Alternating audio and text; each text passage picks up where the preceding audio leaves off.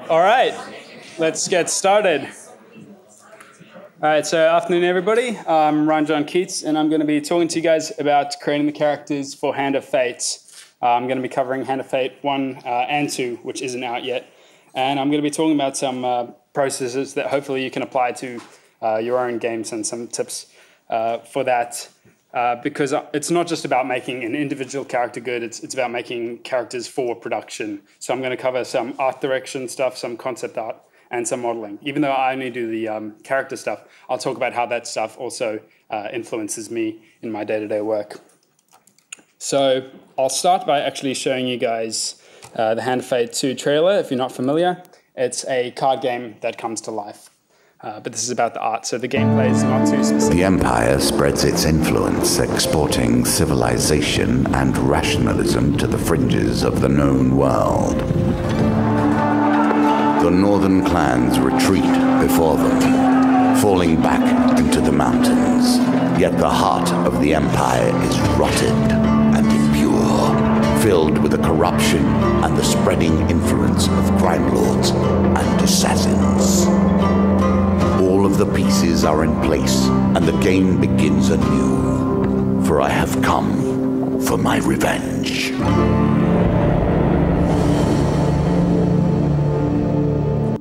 All right. So in Hand of Fate 1, I created all the characters um, and then most of the weapons, accessories, and uh, other props. And Hand of Fate 2, it's a similar thing, but only now we've got some uh, other character artists and we've also uh, got some outsourcing. So uh, it seemed to work for me pretty efficiently, so hopefully it can, uh, can work for you guys. So I want to show you a bit of my own work. Well, first, oh yeah, sorry, I'll go back a bit. This is just showing uh, some images from Hand of Fate. So Hand of Fate 2, some splash art, and then some uh, screenshots. As you can see, our environments done by uh, Ben Cooper are really pretty solid. Um, and yeah, everything's still in production, but going smoothly. All right, so I wanted to show you a bit of uh, my own art, just to show that the stuff in Hand of Fate, uh, it's very specific. It is its own art style determined by the art director and the concept artist and me working together. It's not just my innate style and just running off by myself. Uh, so I prefer to work a lot in realism uh, because I feel like it's a strong foundational skill. So I practice as much in realism as I can uh, because your realism will always influence your stylization. So a strong understanding of anatomy is translatable. However, being really good at stylization won't help you the other way uh, around. You'll get more refined, but it's just not uh, as broad. So I feel like uh, studying realism is great for, for having broad skills. So just a few more of my own stuff. All right, so Fate 1 and 2 characters. Uh, the main difference between the two is the texturing style. Fate 1 uses baked lighting, um, and Fate 2 uses PBR. And the struggle with that is uh, in PBR, everything is light based, so you can't cover stuff up with your textures. So your sculptures need to be very succinct, and your textures need to be very uh, specific to them. Whilst in Fate 1, it's more of a painting, um, which is much uh, easier to do. Uh, Fate 2 also has much more polygons, uh, which means we can have a lot more secondary motion in our animations and generally just have more uh, detailed characters. Uh, Hand 2 also has a more refined art style, um, but that's kind of subtle. This is uh, one of the characters from Hand of Fate 1. Uh, I must say, though, these have some dramatic lighting, so you probably won't see a big difference between the Hand of Fate 1 and 2, but it's, uh, it's pretty significant when it comes to the game and the engines. And the Hand of Fate 2 working in PBR is much more friendly for the overall uh, production, uh, specifically in lighting. This is again Hand of Fate 1. This one doesn't have uh, lighting on it, so all that shading that you see, that is all baked into the model. Whilst uh, Hand of Fate 2 with PBR, it's very, very flat. Uh, so it's not artistic to look at or pretty to look at when it doesn't, when it's not in a game environment with lighting on it. Again, Hand of Fate 1, that's from some uh, DLC. And this is a Hand of Fate 2 character. Uh, as you can see, it's a, it's a lot less uh, painterly, a lot more, uh, I don't know, it's got a lot more, bit more stylization, I feel. uh, it's a bit more specific uh, and a little bit more detailed too. All right, so the pipeline uh, overview. Uh, Defiant is very compartmentalized in its process, uh, which keeps things pretty uh, efficient and easy to manage. Uh, so progression is very uh, defined. So it begins with uh, our designers. They come up with the characters. They might come up with a list and some specifications and some general ideas of what they think the character should be. And then that gets sent to the art director, who has kind of the final say on how the, the character should look. And the art director and the concept artist go back and forth a lot until they get the very specific design. Um, and because our concepts are very strictly adhered to, um, there is little uh, management once I get given a, a, concept art. Pretty much all, all that back and forth goes between the art, director and the concept artist. And as long as we've had that initial integration into the style and understand what the uh, intention is for the characters, it's very simple once I get a concept to just take that through the whole process. And then at some intervals, just check with the uh, art director. And usually it's just, you know, simple stuff like, oh, change that color, that character's got a bit too much expression or something like that. Just um, pretty basic stuff. Um, our asset pipeline is uh, very much based on sculpting. So ZBrush is my tool, uh, but if I was to be integrating somebody into our process, all I would say is that you need to have basic polygon modeling skills, uh, so you know uh, basic Maya or Max skills, uh, low poly models, UV texturing, and uh, yeah, just that whole process down, and then also some sculpture because the sculpture is really the, the one unique thing, and that goes throughout the process. That, that's very influential in all parts. So as far as the high poly model goes, I'll begin by sculpting the body, which is the physique of the character. That's like a, you know, the man or the woman or the goblin or whatever it is, just its raw, you know, naked form. And then I'll extract the clothes and anything that's a kind of form fitting and just pull that into the shape. And then I'll mock up any accessories and hard surface details. And that's just uh, based on the concept, just real like rough blockouts of where that would be because all of this informs the shape of the character and the, the silhouette. So um, that, that's all roughed out. And then I'll look at the concept, look at what I have, and just push everything to just be more accurate. And then I'll go back to those accessories and uh, rebuild them in Maya or Max or whatever process that individual um, accessory might need and then I do a final pass, which is a refinement of uh, sculpting hair or, or face or even in the armor, just scratches. Any, anything kind of like a last level uh, refinement is done then. So the timeline for a Hand of Fate characters is usually one to two weeks, uh, which is three to five days of high poly modeling and sculpting, one to two days of low poly modeling, one to two of UV and texturing. Um, for somebody that's new or starting, I'd say that that's uh, about two to three weeks. Uh, but as you work more and you get more comfortable with the process, you'll get faster. And I'd definitely say, you know, once doing the stuff, take as much time as you possibly can initially. And once you've got what you want, then you find ways to make it fast. Uh, it's all, I think it's all about getting the best possible result you can and then bringing it back from there and then thinking about efficiency. Uh, but definitely starting with like, how can I make this as best as I possibly can? Um, from a concept and design point of view, I have to say hard surface details definitely take more time than organic parts, and less parts means less time. So uh, monsters are much quicker than a knight, even if the designs are just as grandiose, just as uh, awesome looking. Um, like a minotaur, or an ogre, or anything like that is usually much quicker than a full plate knight um, because of all the, the hard surface stuff. Um, so the timeline I created, the one that I just talked about, that was all about uh, looking at the game view, so the, the view that you see the characters in the game, and then determining how I can make the best uh, results for that without spending more time than I need to.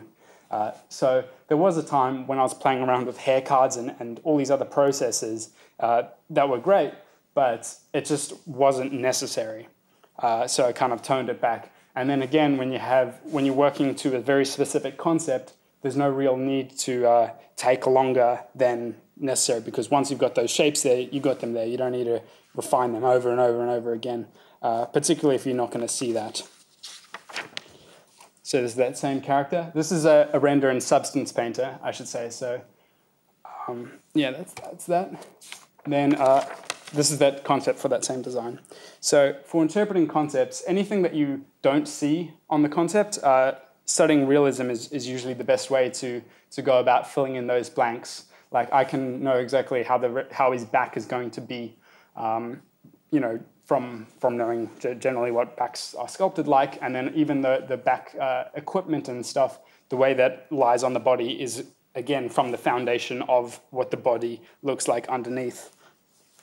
So I find sculpture is a better alternative to polygon modeling. Uh, just because you it's so fast that you're always uh, interpreting and making decisions really quickly. Whilst if I was polygon modeling any of this, uh, I'd kind of be like doing it once and then trying to fix it. As opposed, so with sculpting, I'm kind of just fixing it uh, on the go. I have, also have to say about concepts.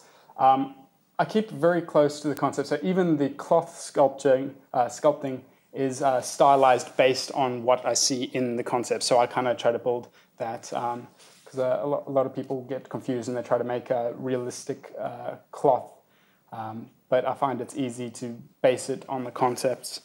Um, and then since the characters are stylized, uh, any buckles or ropes or any small accessories are usually made for that specific model. It, it would be good to be able to transfer them across models, but they're all uh, they all kind of help shape the overall form. So having something that's a little bit too big or a little bit too small does change uh, the stylization. So I want to go on to the actual concept art styles that we work from. So firstly, I would say that this, this is a, a good example of, of the kind of uh, concept that we are given. Um, and this is, you know, that uh, rendered version of that same model. So I'll just go back quickly to show you that you can see it's all pretty similar. All right, so this is the rendered concept art style that we get essentially. Uh, this is usually to indicate the uh, intended, like the perfect uh, result of what, what they want to see in the game. And um, so it influences your textures, your sculpting, like the cloth sculpting. Um, it pretty much uh, in influences everything. It's, like I said, the in intended final uh, result. Um, but it's usually reserved for presentation and pitches once somebody is integrated into the process. So once you know what the materials should look like, what the folds should look like, you really don't need to uh, have the concept artist spend all the time to be painting uh, it over because he can spend as much time as you would be modeling. So what we realistically work with once we are integrated into the process uh, is, is the line art. Um, because we work so specifically to the concept, the line art is uh, ideal because it's very hard to uh, have any mistakes with it. We can, we can get, get this and we can just design it.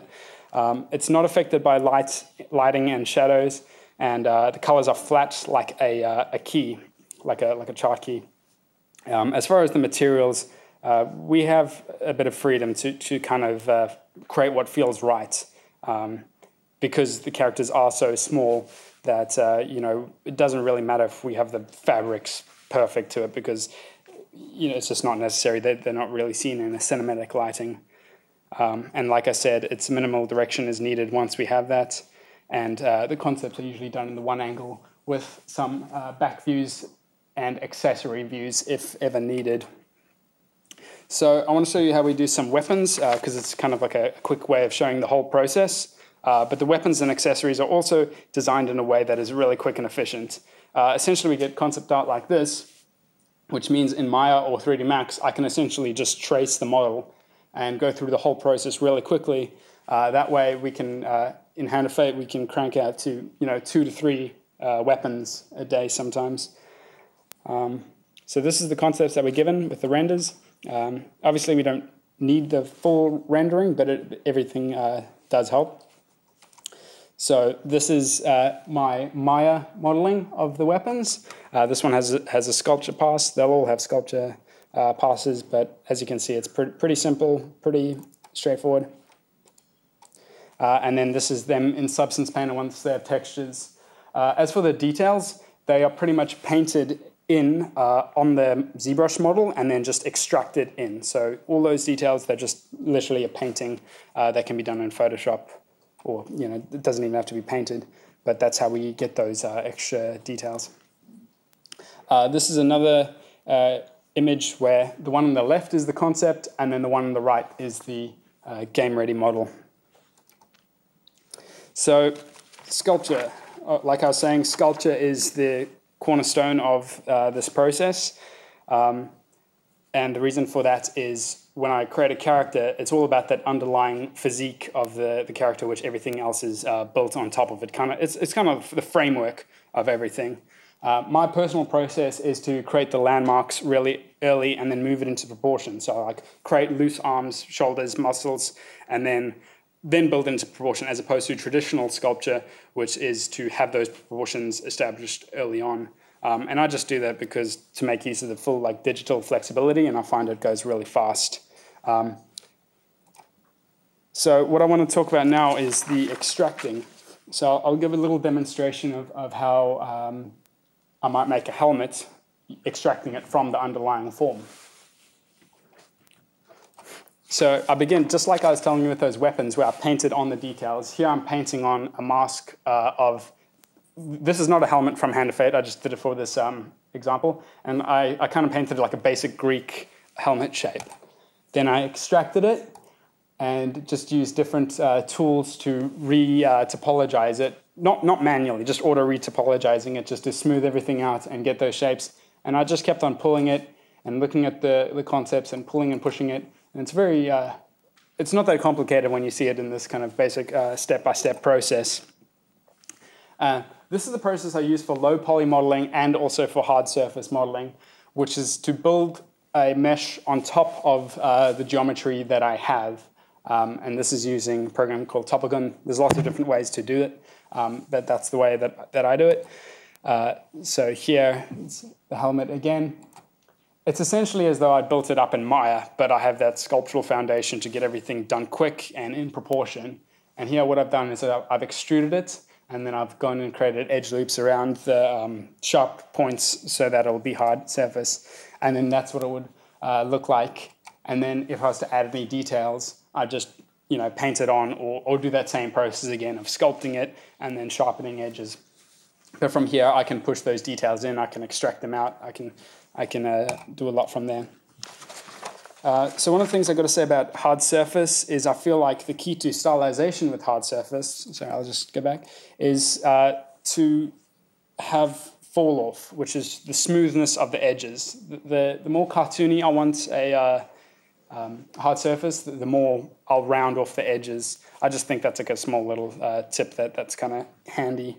Um, and as for the processes. It's either the, the process that I've shown you of building up uh, the, the uh, low poly like it's a single plane, or just um, sculpting a, a, model and then retopologizing the entire thing and just put, uh, putting uh, poly pushing and then uh, making those edges sharp. So one of the other things is we keep in Hand of Fate 2 we keep all the hard surface objects very clean and flat. We don't add any details. We add that in our Substance Painter as a texturing pass. And we use height maps and other things to give it that uh, grainy grain for like metal or anything like that. If we were to create scratches and, and metal flakes and stuff on the hard surface, like what we used to do in Hand of Fate 1, um, then when we take it into Substance Painter, it tends to layer up and just get muddy. So that's one of the processes we've changed. Um, yeah. Oh, sorry. This is a little out of order. Um, so this is just showing you that with the final result that you put in your game is your low poly model and the textures assigned to it. So a lot of people get carried away with the sculpture and kind of forget that that's not what's going in the game. What's going in the game is low poly. So you really have to be thinking about it uh, particularly with something like hair, don't create too many strands. They've all got to uh, be built for the low poly model, so you've got to be aware of your poly counts and things like that. Um, this image is to kind of show you that uh, you, you have to choose where to merge things into the model and when to have it as a separate uh, chunk of geometry and when to just have something as a texture. Like you can see those strips of uh, the pattern along his uh, stomach are you know, just baked in as textures, but then those um, the uh, ribbons down the chest are, have their own geometry to accommodate for that shape, and then something like the buckle is not merged, it's a completely separate part. uh, one of the ways I create the low poly models is I smooth out my sculpture. Uh, the reason for doing that is to um, take away, so I'm not distracted by other details, because it's very easy for me to, uh, on this sculpture, for example, follow those lines, uh, but that would just kind of uh, get in the way. So I smooth out the details so I can highlight exactly where I should be adding detail and where I should not for the low poly model. Um, one of the things we do in ZBrush is we assign everything a material ID, um, and that's when we give everything a flat color so that we can color pick those uh, as materials when we take it into our texturing program, which we use as Substance Painter. And that, that's, uh, that's the example of that. Um, the reason being is that once we have those materials separated, uh, we can swap it very easily. So there it's the same, literally the same model, but because we have things like height maps, um, we can create essentially a completely different looking uh, object and, and completely change the textures as long as we have those regions uh, isolated. Uh, one of the tips to Substance Painter, if you're familiar with it, is to create smart materials where you have multiple layers of textures which uh, you can um, save out and then apply to different models. So we can have uh, you know seven different characters of the same um, uh, class, or, or, you know they, there might be seven Viking type characters, and then they all have the same metal, and we can just save that out and just slap it on there, and we can get it done uh, really quickly. All right, so when it comes to outsourcing, I find the best uh, process is to actually give the people one of the models. It all depends on your NDAs and what you're comfortable with uh, sending somebody. But I find when somebody has the an exact example of the style that they're going for, it's much easier for them to uh, accommodate that, to get it you know, to have the, the faceting of on of details on the face, to have uh, the cloth folded in a certain way. Um, they have the perfect example there, and just giving them as much material as possible and as much communication as possible uh, is best, I find, with that. So now I want to show you a demonstration of um, creating the thief character that we've got for Hand of Fate, uh, and also some of the things we've done for efficiency. So this is one of our Empire characters, and I should start by saying that uh, a lot of our characters are on a, uh, a couple different rigs. But uh, any that are on the same rig, we have to keep their joint placement the same. Um, and one of the benefits of that is we can get them uh, rigged and skinned very quickly. Uh, also things like hands, um, we can actually keep the low poly models from that and just uh, keep using that over and over. And that would save a lot of time. So in creating the thief, I would take one of the models of the same rig proportions, such as this Empire character, and then strip it down. As you can see, it's not a particularly natural looking shape, and the reason for that being is that the concept art um, has very layered midriffs with all this kind of equipment, um, which is which is fine, but it's just not realistic. So you have to kind of build it with all that stuff um, in mind. So this one, I took them and I stripped them down to what was uh, needed, and then I started editing that for to uh, accommodate the, the concept art. So everything is, is changed a little bit except for the hands. So even the arms are a little skinnier, a little different shaped. The face, it's a new face. Um, and the uh, body proportions are, are, designed to, to fit the concept. Then I add a couple more of those uh, details as, as separate parts. Um, at this point, I would start to doing that uh, retopology, uh, retopology process, the one I was showing you with the uh, helmet. So that's how I get that, that waist uh, cloth. And then again with um, those shoulder cloths and the details coming down the, the chest. You can also see I've added a, a bit more uh, detail to the face. A um, bit more sculpting, some tube tubes that I've put down to create that pattern on the chest armor just a close-up of all that. You can see on the uh, arms there that uh, even the, the, cloth is kind of faceted uh, just to stick with the style. You, yeah, even, even those um, like ribbon shapes on, on their chest are, uh, have, have a bit of a faceted uh, shape to their design. This is me applying those material IDs so that I can color pick them when I'm in Substance Painter.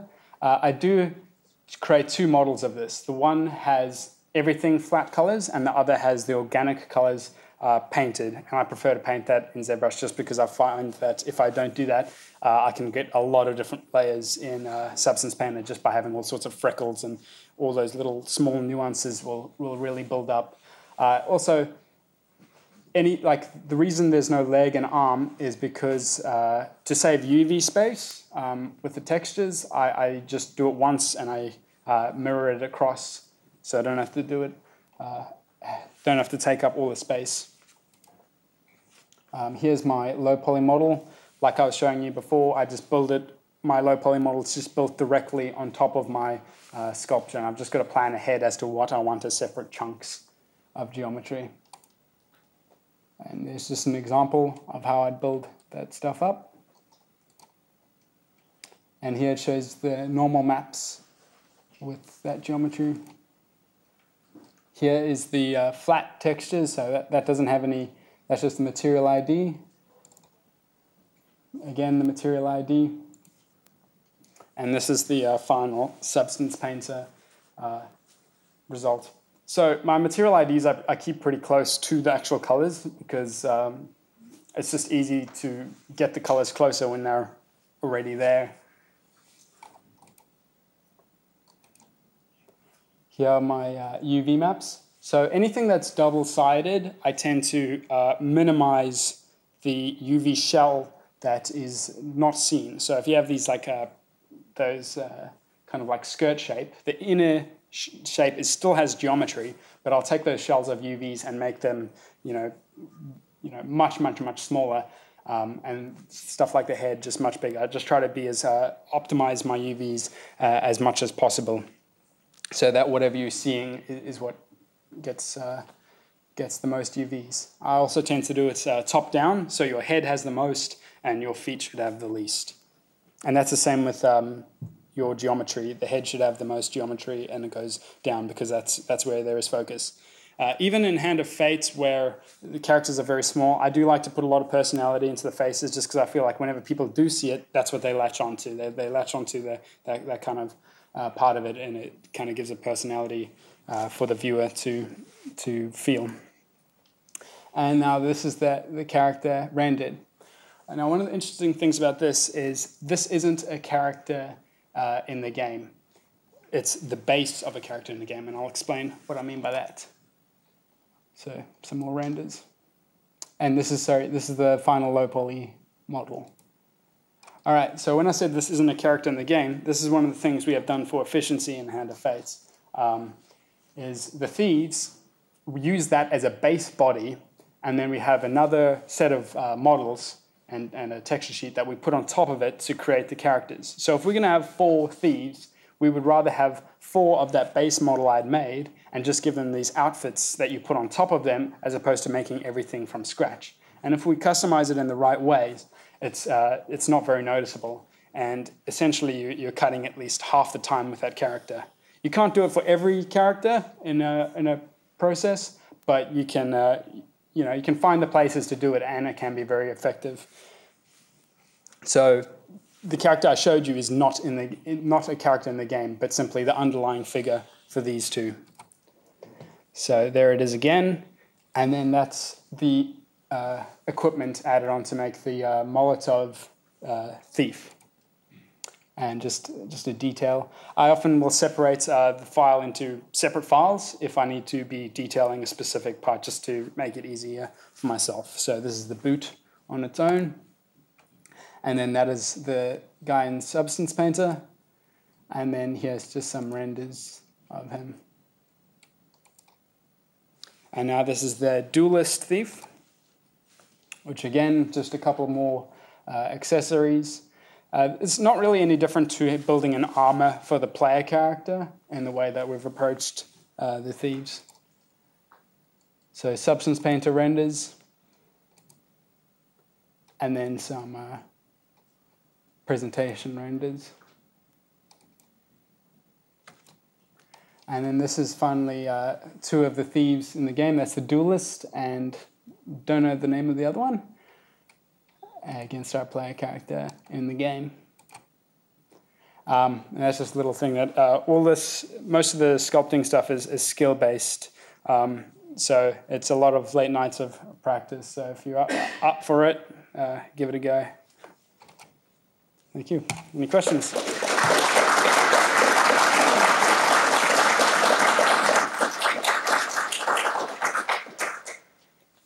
Yo. Uh, what drove the decision to change from um, and, and uh, that kind of to PBR? Uh, PBR is it's it's uh, started to come in a bit inevitable as far as um, processes. Uh, everything's changing. I think it was the uh, the program is uh, pretty much lo- looking at the direction of Unity, uh, particularly with uh, Unity five coming. You know, having um, uh, PBR. So it, it, it was very sudden. It did take a while to integrate into that because as an artist, you, you're trying to push it, but with PBR, there are distinct rules. Like I, I started off by having like a lot of baked lighting because I was just like, oh, you know, it'll look better with a bit, of, you know, a bit of uh, darkening under areas, and it just ends up looking really grimy and muddy and just uh, not working. So you really have to go very flat with your colors, uh, which is a bit daunting because um, uh, a lot of stylized characters have a, have a lot of um, different colors to kind of really bring out their their details. Yeah. Any other questions? Yep. Because I thought Flax between environment artist and character artist before. So it might be a silly question, but have you? Is there any point where it gets low detail enough that you'll flip the face and the texture? Um, no. No, no. oh, yeah, no, we ha- we haven't really had too much uh, conflict with the, the character in that. Um, it's it's more so about uh, uh, just making the textures all, all work. Because I, I find it very easy when I'm doing my homework uh, to have you know I'm creating my own lighting, so I can create my characters to that lighting. Uh, but when you're working with something else, you have to do it to their how they've made it. Um, and it's just uh, once you've created the character, just making sure you see it in the environment and just doing some small tweaking. It's usually uh, not too much because uh, Substance Paint is very good for um, converting to Unity. It's not perfect, but it's pretty close. Um, and so if you can get a good result in Substance Painter, you know that it's just going to take a little bit of tweaking, usually just a little bit of brightness, because uh, in uh, PBR, brightness kind of affects color. It's not really you know, you can make it a little bit brighter and everything will end up richer as opposed to just, you know, washed out. Yeah. Right. Uh, yeah, when you're um, setting things up for substance painter and uh, you're trying to find different like material regions for whatever, are you generating masks from the ZBrush? Um, I poly paint everything in ZBrush, so I literally just give everything a flat color um, and it's assigned to the, uh, the, like, I think it's assigned to the vert IDs or something like that, but it's essentially just coloring it in um, ZBrush and exporting it directly out. Uh, but all it, all it is is a texture map of uh, all your regions with a flat color. So it doesn't really matter how you make it as long as everything's uh, separated into flat colors.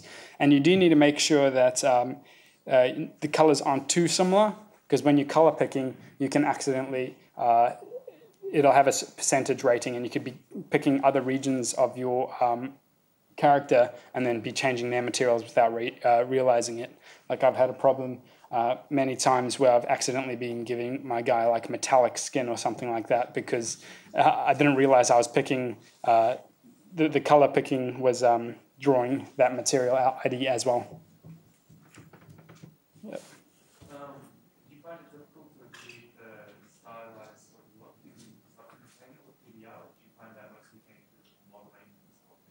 Um, it's definitely being uh, done through the sculpting and modeling. I'd say, as far as the stylization through color, I want to find that way, but I, I pretty much need to talk to the graphics programmers and, and figure that out. That's something I'm still trying to to, to uh, get right because um, the way I would say it, I'll, I'll just go through some of these pictures.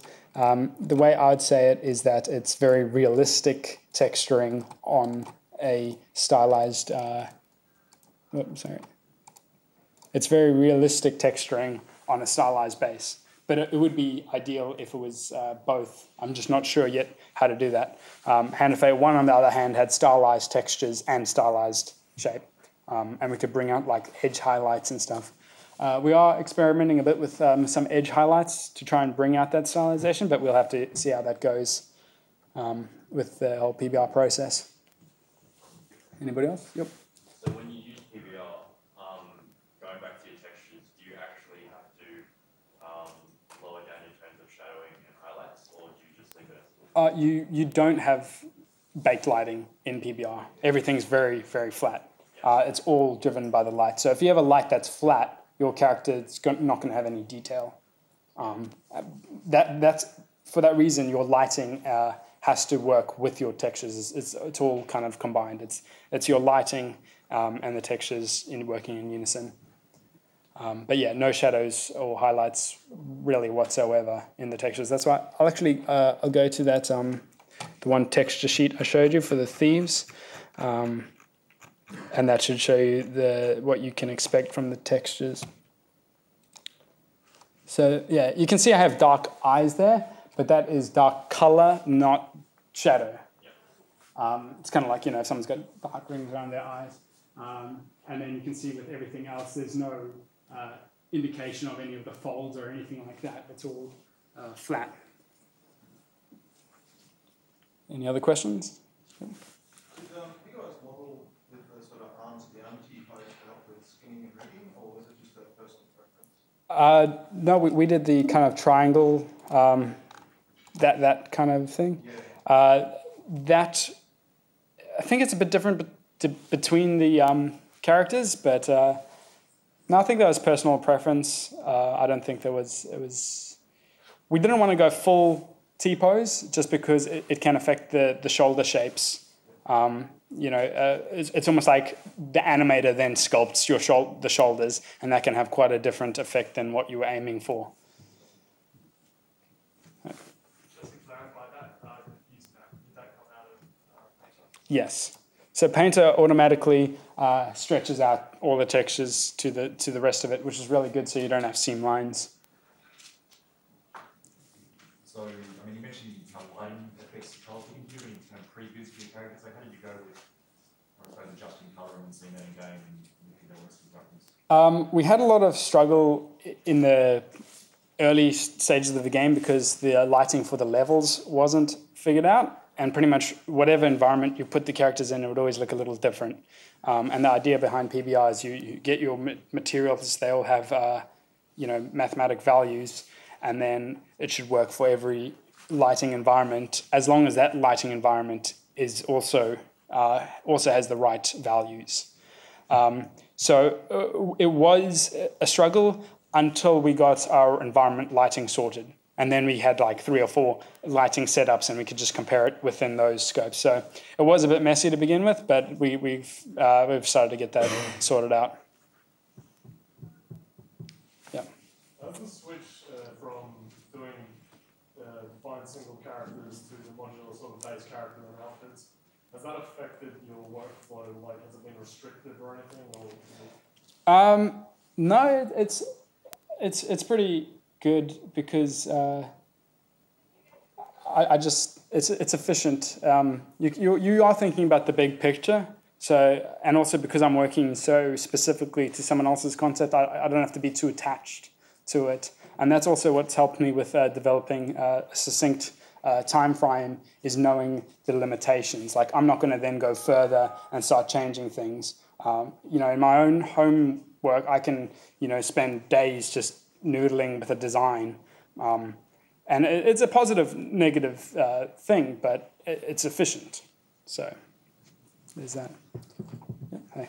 In those uh, three-quarter views you're getting from the concept artist, Yeah. uh, you sort of given creative license to say the backs of the feet. Were they sort of included in there?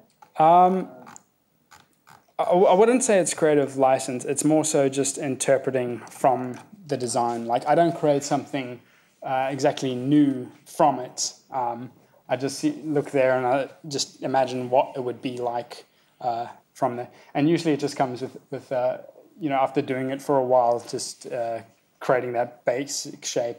Uh, if I do have any questions, I sit right next to the concept artist, and it's usually just a really quick for what do you think of this? Um, but I, I, really don't uh, tend to to make up too too much um, unless there's uh, space given for that. Um, any kind of organic uh, part is usually where I tend to uh, add my own flair, uh, but that's usually you know tertiary details as opposed to like the main details. You know, creating like interesting veins and muscle shapes and and such. Um, yeah. Cool. Anyone else? Hey. Can you just speak a moment about how you do your hair? um, I, I usually don't have my hair like this, but I usually get a ton of gel and just go through it, and then I, and then I comb it. Um, yeah. I'll be honest, I was actually meaning character. Because you mentioned Yep. hair cards, but it seems like it's more of a sculpted hairstyle. I did Yeah. know about yours. Uh, yeah, um, the hair, to be honest, I change it a bit per character. Um, I do also keep it to the concept, um, as you can see between these ones. Um, I do it kind of the way, same way I do that helmets, in the sense that I'll paint on the shape and then extract it out and then shape it from there. But what I do try to pay attention to is where I'm going to build the low poly. So with this guy, you can obviously, he's got those little spikes, and you've really just got to figure out how few spikes you can create um, before it's going to start uh, being too uh, high poly. Um, one of the other things is uh, long hair is a bit tricky in this style because it's essentially clay-like, and having long hair ends up being like a like big clump, you know. So try to avoid it for the most part, or do things like ponytails and, and things like that. Uh, but the hair is very uh, different per character. Um, we also don't have, now that I think about it, we don't have too much hair uh, because a lot of the characters have helmets and or have you know short short military hairstyles. Anyone else? Hey. Uh, for Hand of Fates too, you guys had like a, a female version. Was it difficult to have like different chroma sets for representatives and stuff? Um, well, I shouldn't talk too much about that. Um, but uh, no, as, as far as creating, no, not not really. I, I, I, I, should, I should say what we do try to do is um, if we are to have multiple uh, armors, I'd say we would uh, keep uh, parts that we can try and copy across both. So anything that bends too much, we'll try to avoid that. But anything we can just copy and paste from one model to the next, like if you have, uh, I'm trying to find an example, um, like a like a buckle or something, you could always just copy that from the one model to the next. Um, but having anything that's too form fitting, um, we probably try to avoid. Oh, hey. Um, this might be a question that I've asked with PAs, but um, how do you set up your modular costumes in Edge? You switch in and out of characters. Um, I'm not actually too sure. Pretty much, I, I just got to make sure they're uh, got the right proportions on on the character. Um, yeah, I, I can't really talk talk to that. Uh, yes, yes, they are skinned as separate objects, but I, I know that they can often transfer what they have as a base because they're all roughly in the same place. Um, having like a quick skin uh, is very good for, for any demonstrations. Like if, if we're going to say, hey, let's create the most dramatic armor we can have, um, you know, the biggest armor we can have, uh, I can I can send them a model and they can have it animating like almost immediately just by doing a direct skin. But then it would take like a little bit more extra time to then paint weights uh, specifically for that uh, design. Yep. Um, so, knowing how to has several different shapes of human, do they all use the same skeleton, or do you have specific skeletons for each, like, phenotype of body? Uh, yeah, we have different ones for, for each of those. Um, but like like I showed you with the thief, um, we kind of just all build them from one from the from the next. You know, uh, this one. Um, yeah, the thing is, even the uh, different body types that we did create, uh, we just took like a model like this and just made it bigger um, and, and changed the proportions. So everything, we never create anything from completely from scratch. Uh, and that's just worked pretty effectively for us so far. I mean, even in my uh, home time, I'll, I'll do that as, as much as uh, possible. If I, if I need to work from my hand, I'll see if I've got a hand that's close enough to what I'm doing, unless I uh, specifically am trying to build uh, skills. Because sometimes you just want to get something done, and sometimes you, you're trying to learn. Hi. For your personal work, do you prefer baked lighting or PBR? Um, I do PBR now. I used to like. I used to really like uh, baked lighting, but it just feels like it's fading out. So, uh, as a as a result, yeah, I try to keep it uh, PBR. Also, because the, there's there's a lot to PBRs. Uh, there's a lot of simple rules, but there's also a lot of subtle nuances uh, to get it right, and it's it's a combination of lighting and the textures. So uh, I want to spend as much time doing that just so I can be uh, you know completely integrated uh, into that process. Yep. Anybody? Uh, Yeah. How do you feel a game like Overwatch handles stylized PBR compared to your Hand of Fate, which is similarly stylized but more realistic? Yeah. Um, I love Overwatch. I think it's got a great stylized uh, approach. Um, but our, our whole texturing process has been based on realism. Uh, the, the characters are a little different in the sense that they are stylized, um, but the biggest difference in that is that we have a lot of grain and detail in our textures, whilst uh, Overwatch is very uh, flat, very painterly. But then again, so are the environments. Every aspect of that game is uh, following the same style. Um, so we have it different in that sense of that realism. And uh, if we were to create that, it would have to be characters. The characters would be much much flatter, and then the environments would have to be working in unison. Um, it's kind of like these. Uh, it's almost just like if I had it like this, and then started highlighting edges. That's that would be a closer approach. Um, if also if you ignore the, the colors on the face and the hands, everything would be much more uh, subdued. So it's it's a bit more, um, yeah, it's just more ground up, stylized. You said that you'd highlight the edges, but before you were saying that you shouldn't highlight anything in PBR. Uh, yeah, that, that is because it's for the stylized stuff, and that's also a hand painted uh, approach. But for the realistic process, you, you wouldn't do it because it just ends up having looking really grungy. So, Uh, you were saying before that you don't do that much detail with the hard surface stuff. Yeah. What, what, like, what is the extent of the detail that you put into the skull? Okay. Um, when it comes to hard surface areas, I pretty much leave it like that. Um, completely, I try to make it as clean and pristine as possible, uh, unless it has a uh, distinct character marks. And by that I mean like a massive dent or big scratch or anything. And the reason is uh, in Hand of Fate 1, I would actually sculpt my leather patterns, I would sculpt the metal scratches and everything. And then when I would do the baked lighting, that would come out in shadows and would give the effect of the metal. But uh, using Substance Painter, now they have lots of tiled height maps and details and metals and such. And uh, if you layer them up, it ends up looking really grungy. Um, but uh, one of the other processes that we can do uh, is height maps are black and white maps and they're tiled. So uh, essentially, if we wanted to make a lot of character in our sculpting, what we should do is uh, create it, create it, and then bake it, create the um, the pattern, and then bake it out and turn that into a tiled map, and then apply it in substance still, as opposed to doing it as a process that we apply to the materials. Because when I was doing it in Hand of Fate one, I would uh, for, for metal, for example, I'd do like three different passes of like kind of like weathering to give it the effect of metal, but we could condense that into a you know map based formula because I'm doing the same thing every time. Does that answer the question?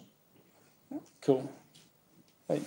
Uh, when making your, like when you have your base model and then you have your different variants, would you then create variants of the variants? That makes sense. Like you say for the Molotov thief, would you say have a hat that might have a cut in it or something like that to add more variants, or would you sort of keep it as modular as possible? Um, no, we'd probably keep it modular. If we're going to make a variation, we're more likely to make a whole whole other version of it than to make to edit that one version. Um, yeah. Uh, and the thieves are kind of have been designed in a way that we can uh, mix and match. We're not sure if we're going to do that yet. You know, give one guy one hat, one guy a different jacket. You know, could swap it out like that. Don't know if we're going to do that just because everything's already been established as single uh, whole uh, characters. Hey. Um, what sort of role do outsources, outsourcing play in your pipeline? Um, we haven't had too much of it, but when we have had it, we've always had a, a relation with them uh, in-house beforehand. But we have had them uh, create uh, characters and such, and usually um, that'll involve me making kind of like a base and giving that to them, and then them working over that. So it would be me giving them a character and them giving that character an armor or something. So I try to give them um, something to build upon and something to integrate into, as opposed to giving something somebody the work on their own, because uh, then there's so many different subtle things that end up uh, getting lost, um, and it takes a lot of conversation. Uh, to really get somebody in the headspace, you kind of have to address it as though you've never heard of it before, because you always have your own predisposition position and things that you focus on um, when you when you uh, address something. So you've got to act like you don't think that way when you when you create the documents to send to somebody. And is that just when you don't have bandwidth to do something I, I so as to why we do it, um, yeah, as when, when. you make that call? Uh, I, I don't make that call. Usually it's the art director, um, and that has been um, if, if they don't think we're going to hit a deadline. And that, that's usually months in advance of a deadline. So, yeah. But we also haven't, we haven't had an abundance uh, of it, but where, where we have had it, I've, I've never really felt uh, overburdened in work. So they're clearly doing it at the right times. Hey. Uh, so the uh, mounds of the thief that you showed, how are you setting those up? Like, are you just doing the face? Are you just doing the mouth open sort of animated like that, or is it? You like? Is it going to be left like that? Um, the mouths, Yeah. th- were they open? All right, yeah. So um, with the main characters, I'll tend to uh, have a lot more detail and I'll have their mouths closed. Um, and then I'll extract like a mouth cavity afterwards. That's because they're more specific and they might uh, need more um, uh, specific animations. And the reason I keep the mouth closed is I feel like the closed mouth is, is a really important shape. And I don't want to leave that to the animators to kind of construct that shape when they close the mouth. So I'd rather create a couple of blend shapes as expressions to, to starting with the mouth closed and then opening that up. Um, as for the generic enemies like this, I keep it uh, the mouth open so that it's because it's much more basic expressions that are going to come through. Um, and it does take a bit of work to uh, kind of like extract the mouth from the closed expression and such.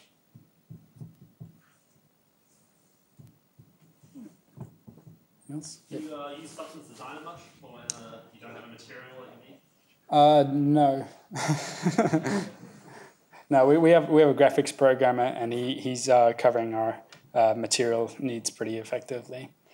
Um, but yeah, we, we're still experimenting with that, uh, particularly with things like skin. Um, uh, but that's something that's constantly in refinement for, for the characters and how they uh, react to light and such. Uh, particularly creatures, uh, characters like uh, the corrupted, um, they need some kind of special. These are the corrupted. These kind of uh, ghoulish characters. They, they require a bit more, uh, some interesting um, materials. And usually, the approach to any kind of unique materials is to get a material ID, like I had for the textures, and just make sure to assign something specific to those regions that will require the different uh, approach. Um, so here he's got like a semi-translucent glow within his hammer, but then the rest of his body is pretty standard.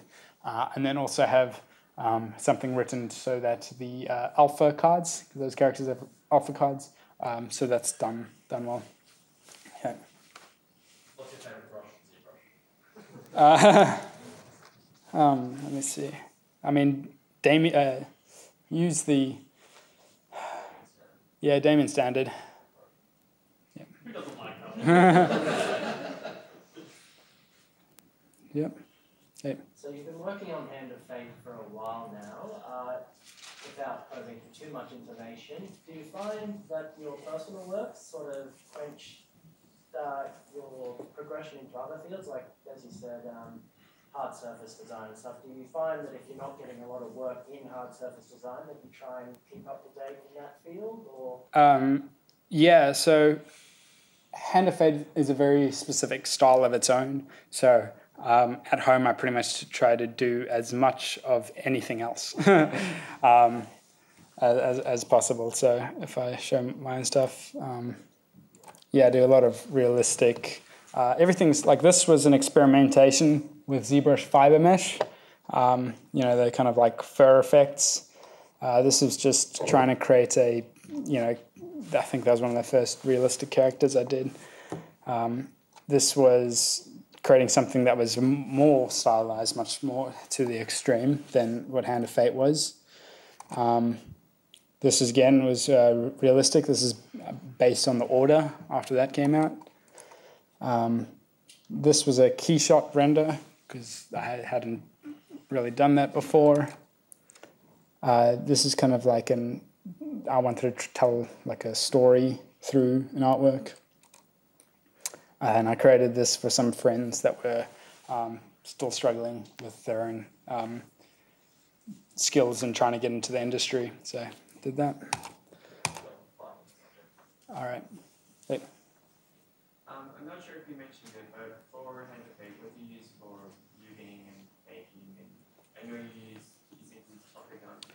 Yeah, uh, we use XNormal, or I used to use XNormal for my baking. Um, I now do Substance Painter. I still sometimes jump back to XNormal, just depending on the processes. Uh, it's all about having a, uh, a good cage. Um, in an ideal world, I would create uh, all my models in a scale that would be best for baking. Um, but unfortunately, with ZBrush, there's a lot of things that relate to scale. Um, and as a result, the, I end up going through multiple scales throughout the process, which is which is a bit tricky. And unfortunately, occasionally I'll send like the animators a character that's thousand feet tall, uh, and then I'll have to you know go back and, and change that. I was just wondering if, um, if you use any special tools in your character pipeline that would like improve your workflow or speed of your work. Uh, what what kind of tools are you talking about? Like um, maybe like either rigging tools or Yeah, um, I keep everything pretty, pretty like standard. As in, you know, I use ZBrush for almost all the sculpting. I use Topogun for the um, low poly models and my hard surface stuff. I use Maya for the low poly stuff again, um, and the hard surface stuff. Uh, and also, I do my UV optimization in it. So uh, I don't use any auto UV layout. I kind of uh, create all my UVs and then I'll manually do it just because I really like the optimization because that can be pretty uh, substantial the amount of space you can save by like having only one leg, for example, and mirroring it across. And the same with uh, any any uh, any objects with thickness, making sure the other side is, is hidden. Like if you have a belt buckle, the side that's facing the character is is got really low uh, UVs because it might not be worth deleting the geometry, but you still want to save that space in the UVs. Um, and then for texturing, it, it's all in um, Substance Painter.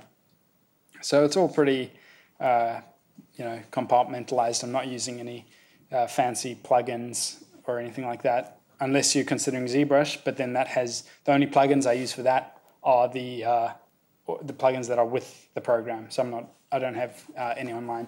Occasionally I'll find brushes, um, but that's usually specific to the character that I'm doing. So every character is unique, and you really kind of you need to address the concept and realize what tools you need to make to do that. Like for example, uh, I'll show you the um,